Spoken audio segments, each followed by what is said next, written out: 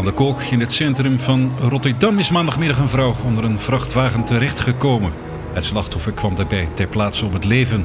De vrachtwagen draaide vanaf de Blaak richting de nieuwbouw van het station Blaak en overreed daarbij het slachtoffer.